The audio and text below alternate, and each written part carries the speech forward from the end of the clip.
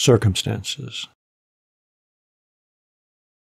Occasion is the father of most that is good in us. As you have seen, the awkward fingers and clumsy tools of a prisoner cut and fashion the most delicate little pieces of carved work, or achieve the most prodigious underground labors, and cut through walls of masonry, and saw iron bars and fetters.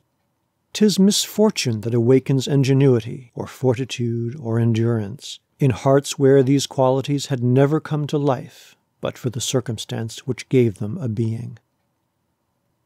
Esmond. W. M. Thackeray.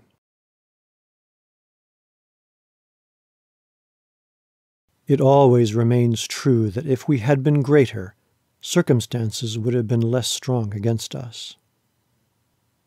G. Eliot. A consideration of petty circumstances is the tomb of great things. Voltaire.